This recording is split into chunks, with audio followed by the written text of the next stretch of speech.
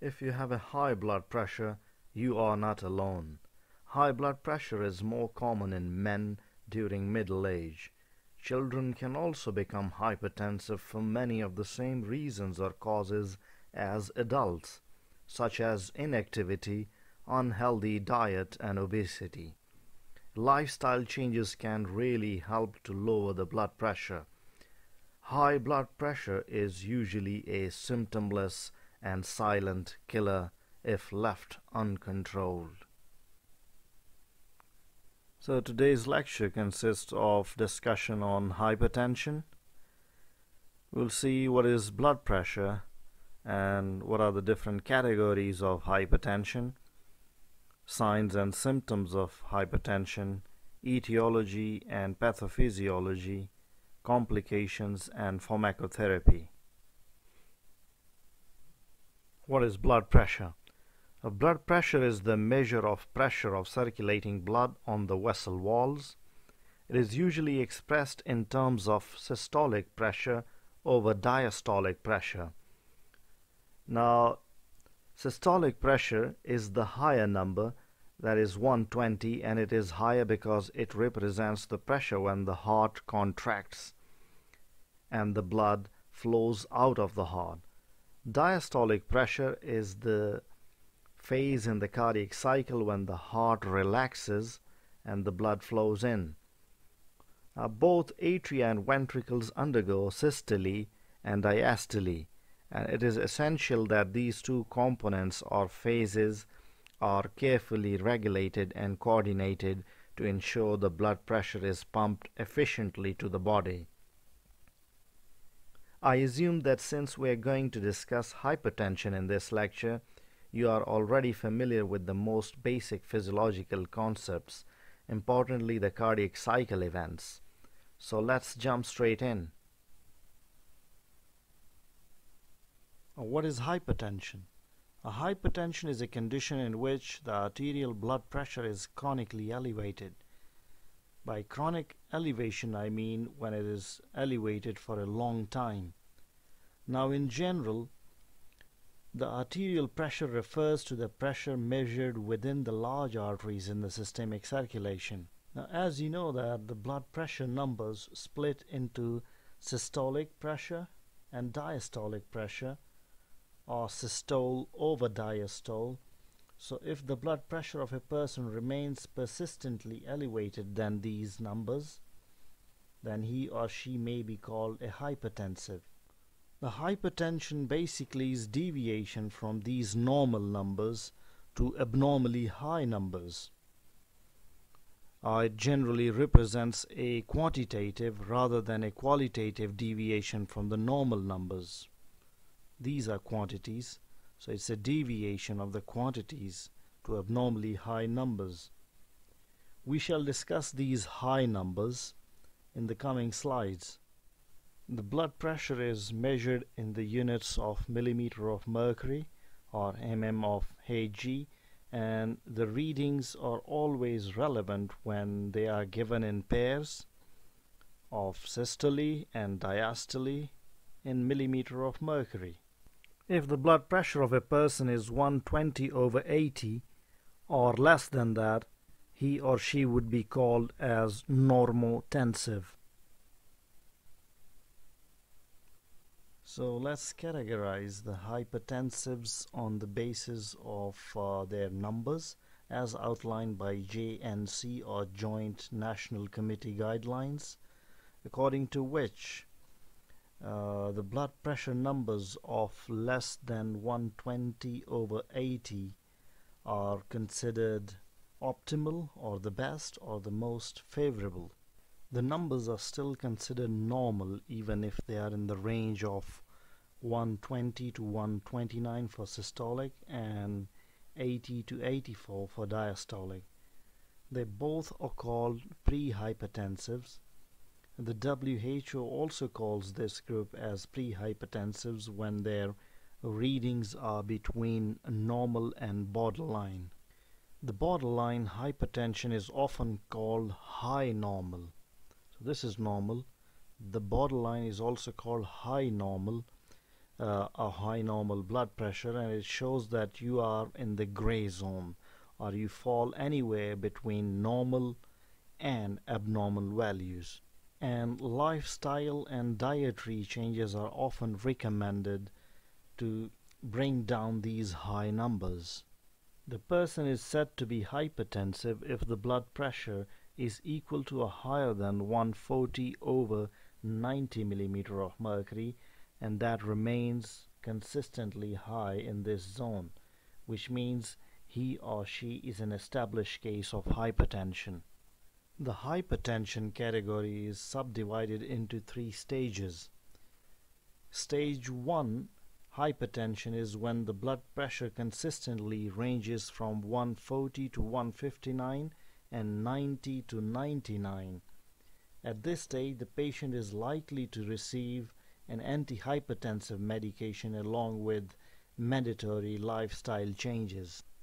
Stage 2 is when the blood pressure consistently ranges at 160 to 179 and 100 to 109. At this stage, the patient usually requires more than one antihypertensive drug with different mechanism of action to provide better control of the numbers.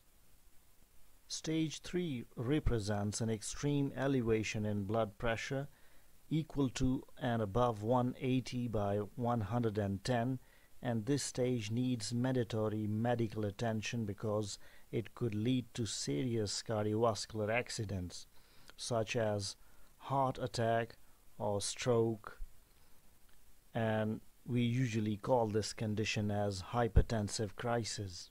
Over time, the damage caused by persistently high blood pressure, if left untreated, could lead to heart attack or myocardial infarction or MI, and also the stroke or brain infarction or cerebral infarction. Signs and symptoms of hypertension. High blood pressure or hypertension is often regarded as symptomless silent killer. So if you ignore it because you think certain signs will alert you to the problem, you are taking a dangerous chance with your life. There are some signs and symptoms, however, which are present sometimes, such as facial flushing, dizziness, headaches, fatigue, blurred vision. Uh, in more severe cases, it may cause headache and epistaxis, which is the nosebleed, and this could happen in case of hypertensive crisis when the blood pressure shoots to 180 over 120 mm of mercury. Etiologies or causes of hypertension. There are two main causes or etiologies of uh, hypertension. One is primary or essential hypertension and other is secondary hypertension. Now primary hypertension accounts for 95% cases of all hypertension and essential hypertension is heterogeneous. A heterogeneous means it could have different causes in different patients and we shall discuss these causes in coming slides. A secondary hypertension is the high blood pressure which is caused by some other medical condition or a disease or a pathology. Let's have a look at the etiologies of essential hypertension. They include obesity, insulin resistance, high salt to sodium intake, low potassium, low calcium, aging, high alcohol intake, and sedentary lifestyle. Pathophysiology of essential hypertension. Now each factor or cause discussed on the previous slide has some pathophysiological link in causing essential hypertension Let's check out one by one how these factors are linked to hypertension, starting with obesity. Hypertension is linked to obesity in many ways. Uh, obesity may lead to hypertension and other cardiovascular diseases by activating the well-known renin-angiotensin-aldosterone system or RAS. And most of you know that this is a system which is responsible for the regulation of blood pressure.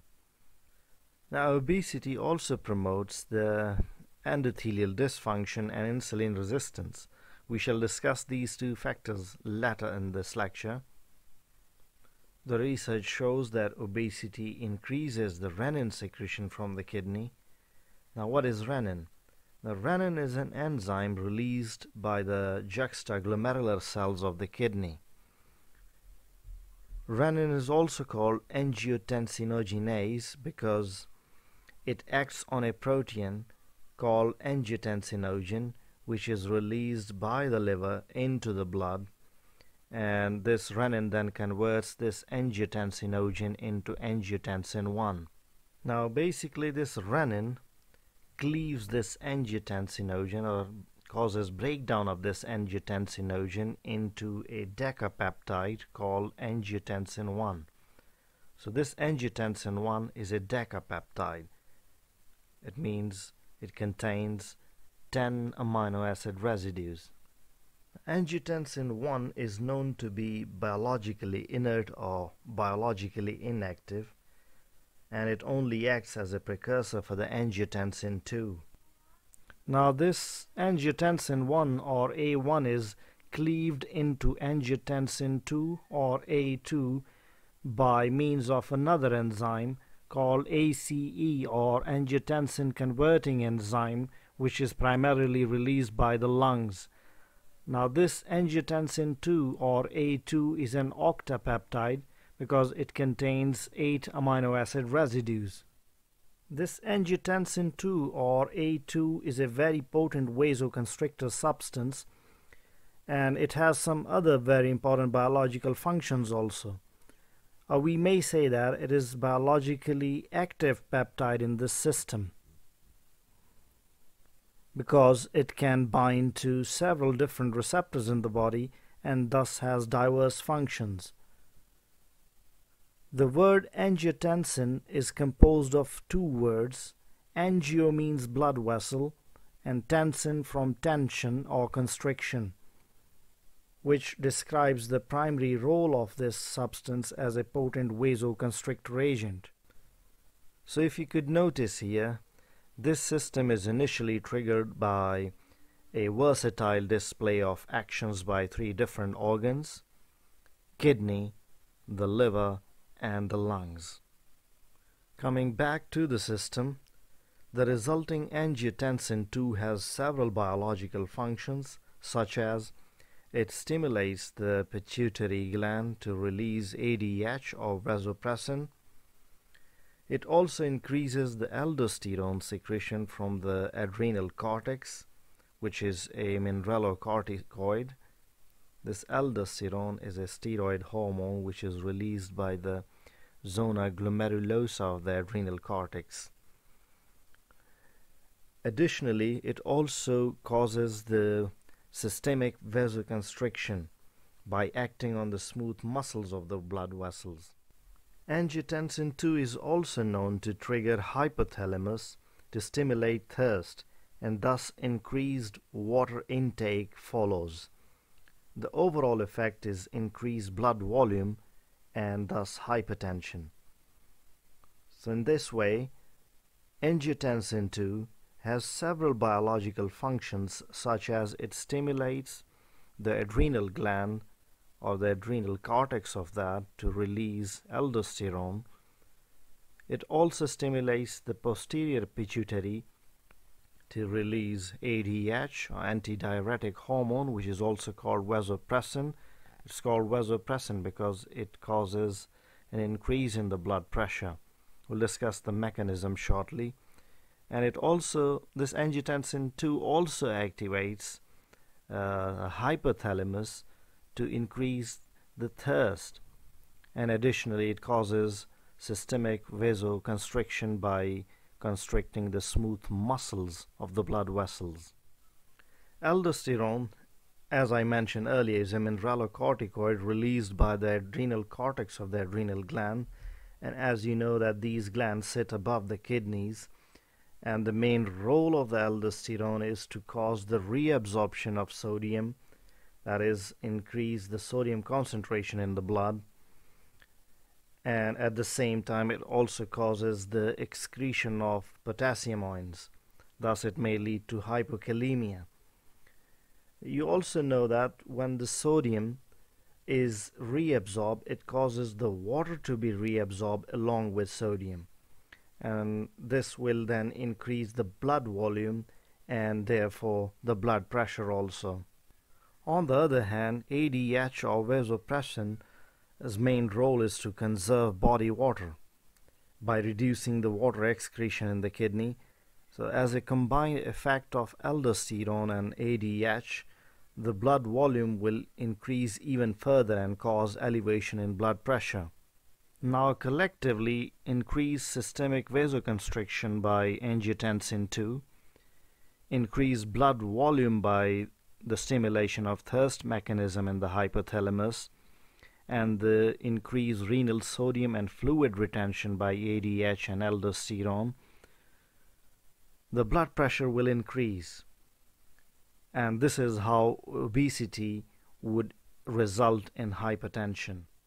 Now let me draw your attention to a very interesting point. Although the system is known as RAS or renin angiotensin aldosterone system with two A's, one A is for angiotensin and the other one is for aldosterone. On a lighter side, we could add one more A to it. And that A would be for the ADH or antidiuretic hormone. So RAS with three A's. So renin, angiotensin, aldosterone, one extra A for ADH, and S for system. So renin, angiotensin, aldosterone ADH system and it is all because ADH or antidiuretic hormone is a very important player in this system. Now let's see how insulin resistance plays its part in the pathogenesis of hypertension. Uh, most of you would know that type 2 diabetes is usually caused by either the relative deficiency of insulin or the insulin resistance at the tissue site or the target sites. The research shows that insulin resistance is linked with hypertension and is mainly triggered by obesity. Insulin's primary role is to regulate the amount of sugar in your body.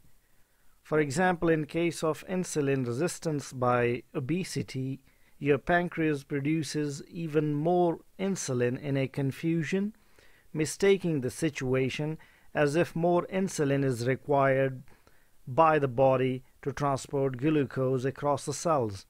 But since there is a state of insulin resistance in the body, so this insulin will start mounting in the blood along with blood sugar levels and this condition is known as hyperinsulinemia. Now there is a strong evidence that higher insulin levels in the blood or hyperinsulinemia is a hypertensive factor in the body, and this is commonly seen in obese people. The studies show that hyperinsulinemia may cause the sodium retention in the body by increasing the reabsorption of sodium into the blood and thus raising the blood pressure. Now let's see how salt intake or sodium intake influences the blood pressure. In order to understand this, let me introduce you to a term called osmolality. Now, osmolality refers to the concentration of a solute, for example, sodium here, in a system, which is blood here. Now, higher osmolality means more solute or more sodium in the blood, and lower osmolality means the blood is more diluted. Now we, we here discuss sodium only because it is one of the major electrolytes in the bloodstream. Others include magnesium and potassium. Eating salt could raise the blood osmolality, which means it raises the amount of sodium in the bloodstream, which also means that you are taking more sodium in the diet, which is showing up in the blood and this will disturb the delicate balance between the sodium and water in the blood Now this high osmolality could result in high blood pressure because the natural ability of the kidney to get rid of sodium and water is disturbed now. You must have heard the phrase water follows sodium. And this could be explained on the basis of definition of osmosis which says it is the movement of water molecules movement of water molecules from a region of low solute or sodium concentration. The low solute concentration or sodium concentration is in the interstitium to a region of higher solute or sodium concentration which is a condition in the blood. So movement of water molecules from a region of low sodium concentration to a region of higher solute concentration or sodium concentration is osmosis. Now the water molecules will flow from interstitium into the blood. So already we know that sodium concentration in the bloodstream is higher and in this way it will lead to the increased sodium and water retention in the blood vessel and will thus raise the blood volume and will also raise the blood pressure in this way. Low potassium and low calcium now, low potassium can lead to hypokalemia. A low dietary intake of potassium may increase the blood pressure, while the potassium supplementation will lower the BP. We normally say that civilized people with a high sodium and low potassium environment, living a sedentary lifestyle, and additionally having a genetic predisposition are the main victims of essential hypertension. In short, excess sodium is harmful while extra potassium is cardioprotective and renoprotective. Foods like bananas, oranges, cucumbers and potatoes are rich in potassium. A good potassium balance is important in conditions like hypertension, stroke, and arrhythmias. On the other hand, several studies have revealed that low calcium intake is related to the high prevalence of cardiovascular diseases such as hypertension. Alcohol intake. Uh, drinking too much alcohol can raise the blood pressure to unhealthy levels. Increasing alcohol consumption has been linked to endothelial dysfunction and thus hypertension and other cardiovascular diseases. The endothelial dysfunction is a condition in which the endothelial layer, which is the inner layer here, it's the inner layer of the blood vessel and it fails to perform the critical functions. Now the endothelium maintains the proper dilation and constriction of the blood vessels and thus any damage to these endothelial cells will disturb the balance between the dilation and constriction and thus negatively impact the blood pressure. Vascular endothelial cells play a key role in cardiovascular regulation by releasing certain vasoactive compounds such as nitric oxide.